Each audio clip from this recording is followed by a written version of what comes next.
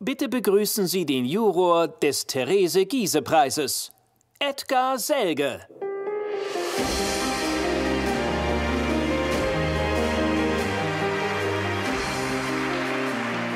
Ja, äh, liebe Kolleginnen und Kollegen, äh, wenn man im Zuschauerraum eines Theaters sitzt, dann wartet man immer auf den besonderen Bühnenmoment, auf einen Moment der Spontanität, der Inspiration.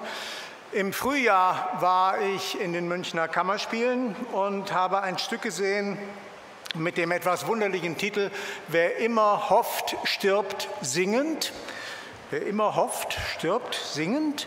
Äh, nach Texten von Alexander Kluge, ein Stück, ein Abend über die Zukunft des Zirkus oder man könnte auch sagen über die Nicht-Zukunft des Zirkus und natürlich auch ein Abend über unsere Erwartungen an das Theater.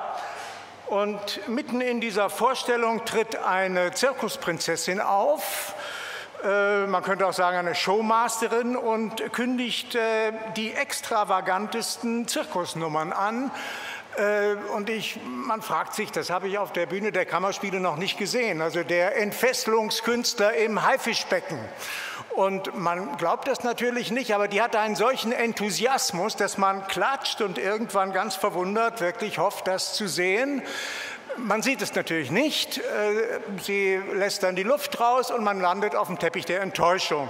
Und dann kommt gleich die nächste Nummer und sie schafft es wieder, genauso wie bei der ersten einen in einen Zustand freudigster Erwartung zu versetzen. Und man denkt jetzt im nächsten Augenblick sehe ich gleich die Elefanten unter der Zirkuskuppel.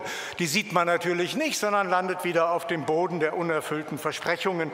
Und äh, so macht sie das mit sechs, sieben Nummern und irgendwann begreift man, dass das Ankommen in der Enttäuschung genauso schön ist wie die größte Vorfreude und die größten Erwartungen. Und das ist eine Erkenntnis, äh, die man sehr gerne mit nach Hause nimmt, also ich jedenfalls. Und die Schauspielerin, der das äh, die Schauspielerin, der das gelingt, die heißt Johanna Kappauf und die hat eine sensationelle Begabung für Enthusiasmus, einen großen Humor für Enttäuschung und vor allem ein ganz tolles Timing für die Verknüpfung von beidem.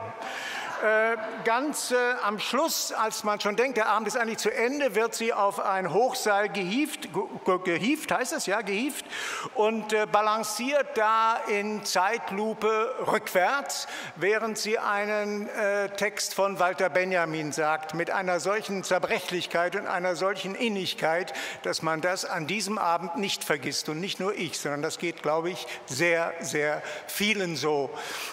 Der Engel, das ist ein Text über den Engel der Geschichte. Das ist dieser Engel, der immer in die Vergangenheit gucken muss, aus dem ihm ein Sturm von Katastrophen entgegenweht, der ihn immer weiter rückwärts in die Zukunft schiebt. Und der letzte Satz heißt, äh, dieser Sturm ist das, was wir Fortschritt nennen.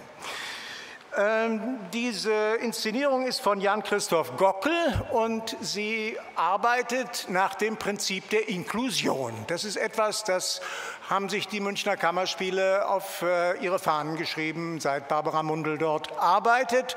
Und die Johanna Kappauf zeigt uns, was wir als Zuschauerinnen und Zuschauer dabei gewinnen können.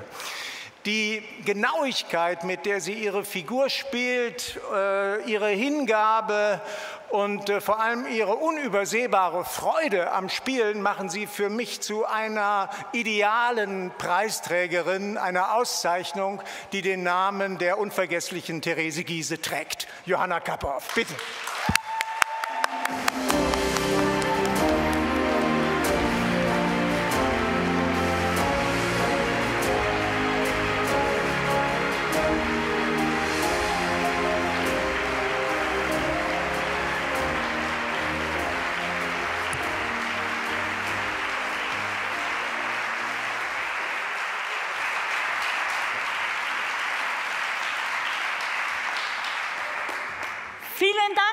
Lieber Edgar Selja, für deine lieben Worte.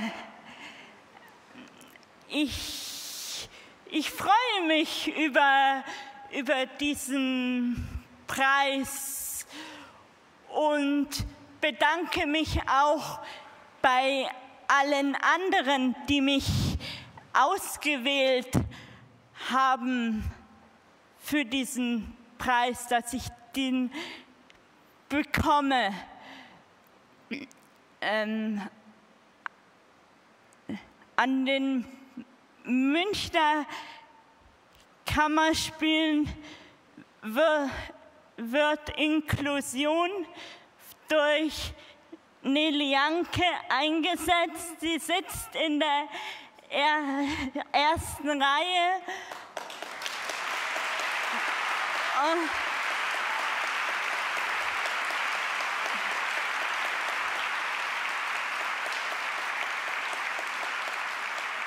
Und sie fördert mich, aber auch alle anderen. Ich möchte dem gesamten Team der Münchner Kammerspiele mich bedanken. Äh,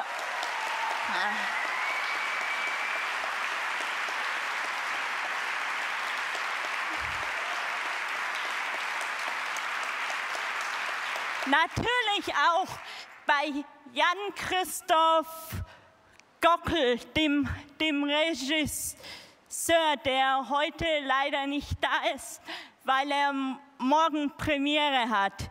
Wir spielten Zirkus. Es machte sehr viel Spaß und ich freue mich, diesen Preis in den Händen halten zu dürfen und dass ihr mich ausgewählt habt.